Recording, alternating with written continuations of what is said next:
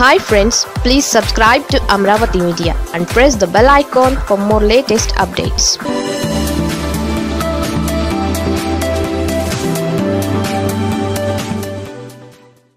senior నాయకులతో అందరితో చర్చించిన తర్వాత పేర్లు ఫైనలైజ్ చేశారు. అందులో మీకు తెలిసిందే ఇటీవల మరణించిన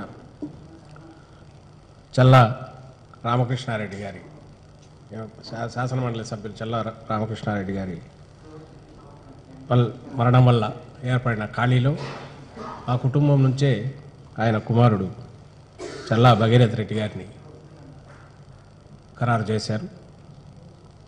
అలాగే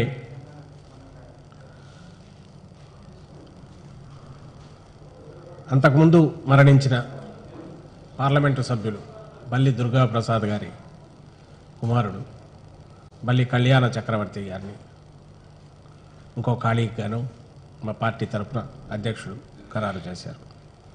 ఇవి కాక మిగిలిన స్థానాలకు సీనియర్ నాయకులు మాజీ మంత్రి మాజీ పార్లమెంట్ సభ్యుడు సి రామచంద్రయ్య గారిని ఒక ఖాళీకి అలాగే ఇప్పుడు రిటైర్ అవుతున్న మహమ్మద్ ఇక్బాల్ గారిని ఇంకొక ఖాళీకి ఖరారు చేశారు. మిగిలిన రెండిట్లు శ్రీకాకుళం జిల్లా టెక్కలి పార్టీ ఇన్ఛార్జి గత ఎన్నికల్లో పార్లమెంటు కూడా పోటీ చేసిన దువ్వాడ శ్రీనివాస్ గారిని ఒక ఖాళీకి.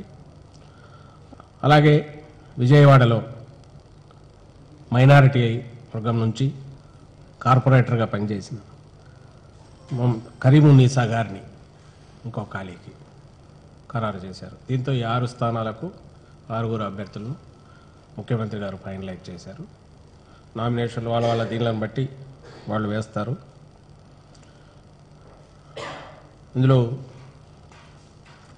మైనారిటీలకు సంబంధించి అయితే గతలో కూడా రాయచోటు నుంచి మహిళా అభ్యర్థిని ఫైనలైజ్ చేసిన విషయం ఇప్పటికే ఎమ్మెల్సీ అయిన విషయం అందరికీ తెలిసిందే. ఇప్పుడు ఇక్బాల్ గారిని మళ్ళీ ప్రపోజ్ చేయడం ద్వారా ఖరారు చేయడం ద్వారా మరో మహిళా మైనారిటీ అభ్యర్థిని కరీమున్నాసా గారిని ఫైనలైజ్ చేయడం ద్వారా మైనారిటీల ప్రాతినిధ్యం పెరుగుతుంది. మహిళల ప్రాతినిధ్యం కూడా మహిళా సాధికారత దిశగా ముఖ్యమంత్రి గారు ఎప్పుడూ తీసుకుంటున్న నిర్ణయాల్లో భాగంగా ఇది కూడా ఆయన ఆలోచన సరళిని తెలియజేస్తుంది. ఇకపోతే ఉపాధ్యాయ ఎమ్మెల్సీలకు సంబంధించినంత వరకు నామినేషన్ల పర్వం అయిపోయింది. పార్టీ రాజ పోటీ చేయదలుచుకోలేదు. అందుకే ఎవరిని నామినేషన్ వేయించలేదు. ఎందుకంటే అవి ఉపాధ్యాయుల నుంచి ఎన్నికయ్యే శాసనమండలి స్థానాలు కనుక మా అధ్యక్షుడి ఆలోచనలో వాళ్ళ సమస్యల గురించి ఉపాధ్యాయ సంఘాలకు వాళ్ళకే అవగాహన ఉంటుంది. వాటిని చట్టసభల్లో వినిపించగలగడము ప్రభుత్వం దృష్టికి తీసుకురావడంలో కూడా వాళ్ళైతేనే మెరుగ్గా వ్యవహరించగలరు. అందువల్ల అవకాశం వాళ్ళకే ఇస్తే బాగుంటుందనే ఉద్దేశంతో పార్టీగా రాజకీయంగా దాంట్లో పోటీ వద్దనుకొని ఒక కాన్షియస్ డెసిషన్ తీసుకున్నారు.